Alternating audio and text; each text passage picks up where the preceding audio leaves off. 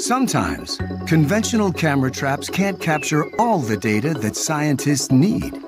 So this is Right, we're DAM 4, this is ABR 15. right. Like Craig, biologist Liana Zanette and Mike Clinchy are spying on animals in South Africa. But their camera traps are very different. Those plain hoopoes.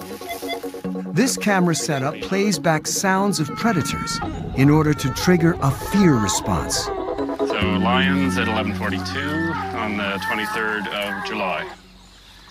Make a terrible noise. There we are.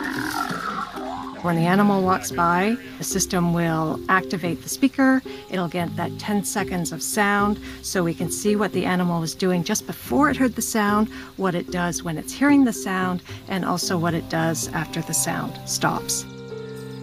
This may sound like a mean practical joke, but Liana and Mike are trying to understand the role that fear plays in an ecosystem. What happens when animals aren't killed, but just scared? We're basically counting fear. So we're figuring out the degree to which fear affects everything. Their work addresses a serious problem in ecosystems all over the world. The dwindling number of scary, but natural, predators. Wherever large carnivores have been exterminated, there's often massive ecosystem problems. The prey have nothing to fear. And because they have nothing to fear, they can overgraze everything down to the ground. That's happened repeatedly all over the world. It continues to happen. And it's a real ecological problem. Decades ago, Yellowstone National Park faced a crisis. With the native gray wolf locally extinct, the elk population exploded, gorging on plants and decimating the landscape. In 1995, the Park Service reintroduced the gray wolf to Yellowstone, and the elk population dropped. Soon, parts of the ecosystem began to change. Vegetation flourished. Willow trees thrived, helping to stabilize the once eroding riverbanks. Scavengers such as fox, black bear, and even birds benefited from the elk carcasses left by wolves. Exactly how the wolves changed Yellowstone's landscape is still being debated.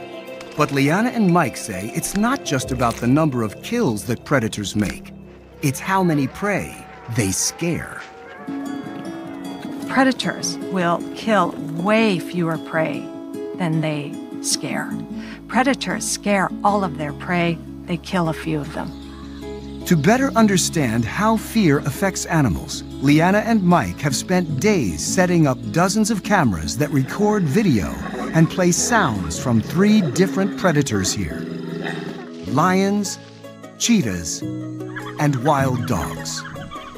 The cameras give us the ability to do a manipulation of this sort, uh, which is very difficult. I mean, working out here is very difficult, right? These animals, we don't know where they're going to be. They're not radio tagged or anything like that. I don't want to be out here at night when all the lions and the cheetahs and the leopards are out. Thankfully, we have the cameras that can be out here.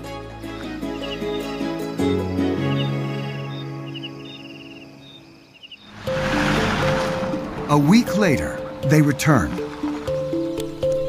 Grab the laptop. Okay, just double check. Looking through hours of footage, Liana and Mike analyze fear responses to the three predators. This is, ooh, Ooh, didn't like the wild dogs. Cheetahs startle some animals, but not others. Wild dogs are scary. Unless you're a rhino. And lions make just about everybody run for the hills.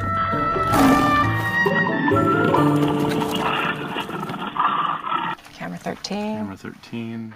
The next phase will be to see how fear affects these animals' reproduction rates and feeding times. Liana and Mike have conducted similar studies elsewhere in the world, and the results are startling.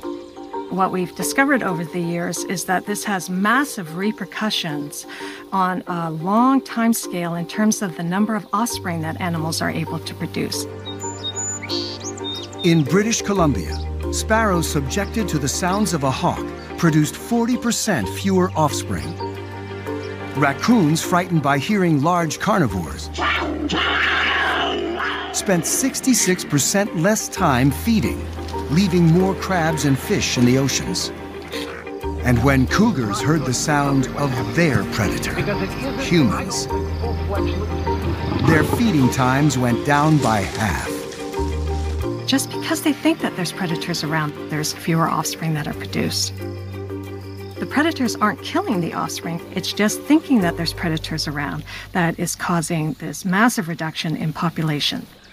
Their research is sounding an alarm to conservationists. Big, scary predators affect landscapes in ways that aren't always obvious. Failing to protect them could cause entire ecosystems to collapse.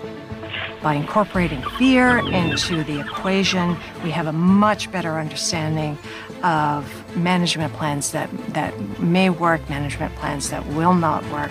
It's just the beginning of a whole new understanding of how the fear of predators can shape everything. It's unbelievable.